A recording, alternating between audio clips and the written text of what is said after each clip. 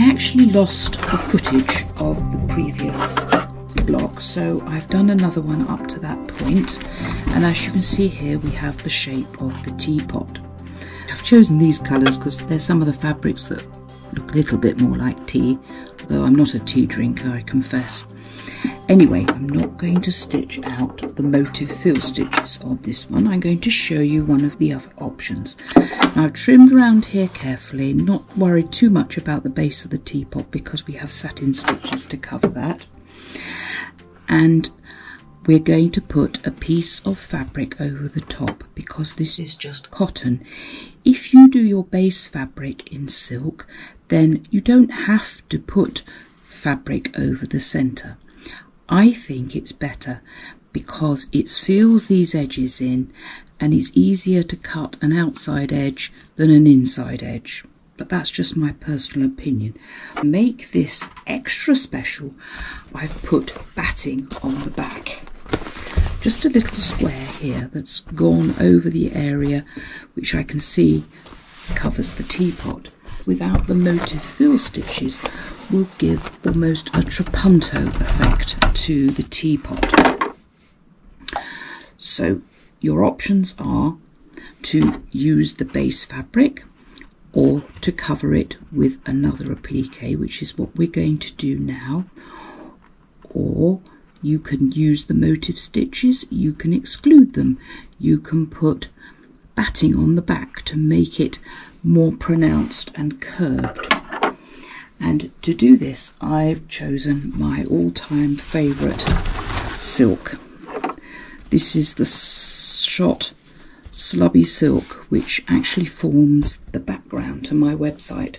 I have just a little bit of it and I've not been able to buy it again. I'm going to line up these lines here with the edge so that the slubby bits are definitely nice and horizontal and I'm going to show you how I have changed the satin stitches that go around. So let's start and see how it looks. So that is the shape of the teapot.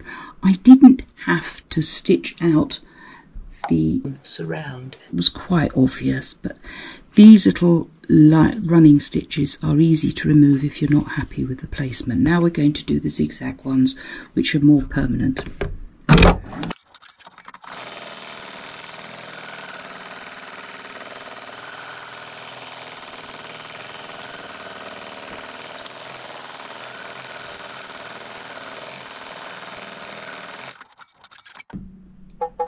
So that is attached nicely and already you can see how you've almost got that curved look to the teapot. I'm going to take it off and I'm going to trim around it and I'm also going to trim off the batting on the back because I don't want unnecessary amounts. There you can see the back, the batting has been trimmed away from the edge. And on this side the teapot is, whoops, teapot has been trimmed away. One thing else I wanted to point out to you, the more of these crazy quilt blocks you make, the more ideas you get. But when I, I was used to cut straight across here, but actually it's a good idea to cut the sides at an angle so that you've got a little bit more fabric there, especially if you're going to be doing a seam. And as you can see, that one goes in the other direction. Now, the next stitch is the motif fill, which we're not going to do. So now we're actually going to be stitching the satin base and the handle of the teapot before we fill in the, the teapot with the surround of satin stitches, which I'll explain how to do so that there's no show through on them. Um, we have to do a little bit of embroidery. So I'm going to go through those stages and then explain about the new way of doing the satin stitches.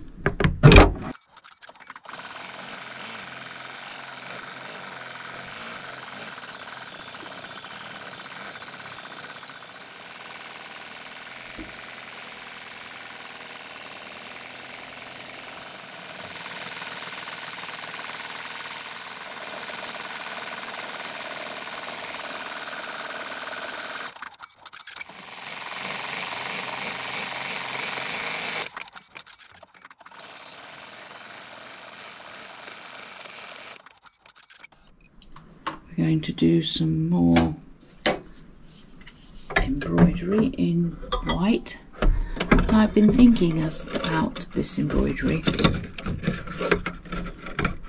and I think I shall change quite a few of the colours of the actual embroidery to more in line with the sort of tea theme that we've got here from the fabrics.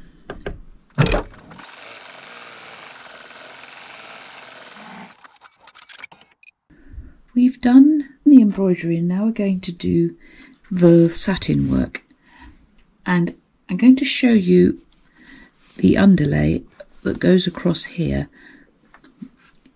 for the teapot lid.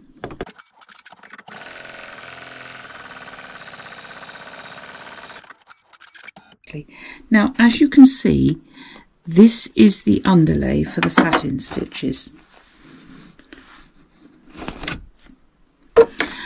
and it comprises of an edge stitch and a zigzag. Obviously if we had a piece of fabric here we'd be able to look at the edges here and make sure that it was trimmed nicely.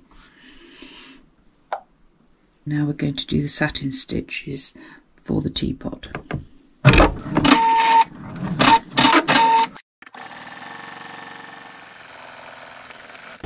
I'm going to stop it there just to show you it, it's done that those bands. Now it's going to do the underlay for the satin stitches here and you can watch how it will do the edging and the zigzag and then we'll be able to trim any surplus threads.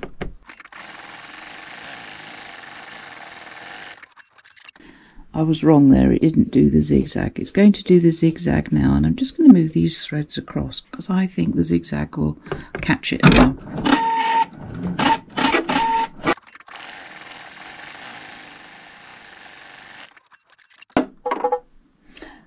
I think you'll agree with me that tidies it all up very nicely. Just a little thread there that it missed.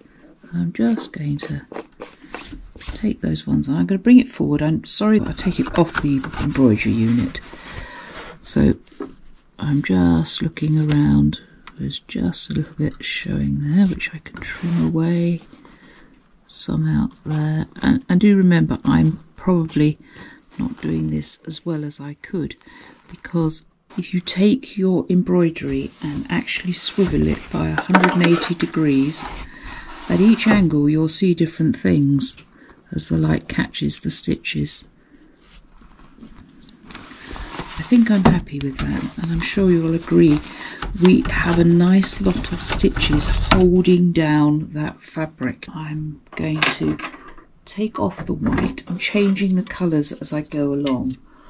Because I did the handle in ecru, then I better do the body in ecru. No, it's not ecru, it's sand, which is Sulky Rayon 508. I probably should have done the teapot all in white. Never mind.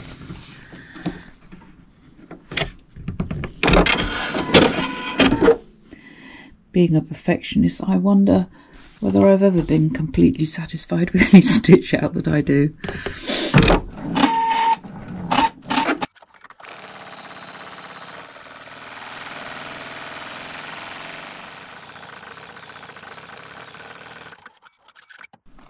Now we're going to do the underlay for this section.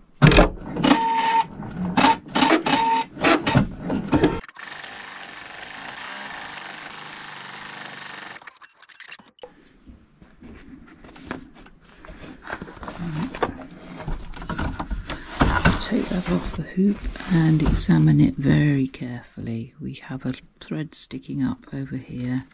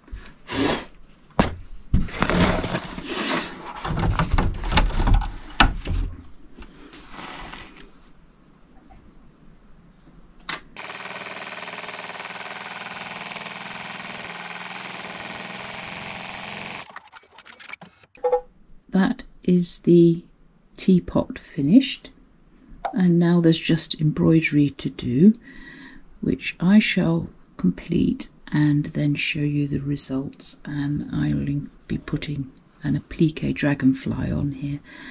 Interesting to note a couple of things that hopefully show up that this is a white but it absorbs some of the oyster colour of this teapot which is lovely and it does the same over here and this is why you wouldn't believe looking at that and looking at that that it was the same colour thread. So it's important to know how your fabric affects the colour of your thread. Looking quickly at that, I can't see a single thread sticking out. I'm really happy with that. Now, I know what you're going to ask me. I have all my other romantic crazy quilts and this sort of edging is not in them. Now it would probably be possible to stop and start your machine at the point where the underlay finishes on certain sections but I can't guarantee that in all cases it will just do all the underlay. It could be a little bit fiddly but it is possible. This underlay is a little bit different. It's been designed for this purpose whether I change all my previous quilts and update them. Um, only time will tell. Let's see how we go. Anyway, I'm going to finish this off and show you the results next time. Thank you for watching. Bye for now.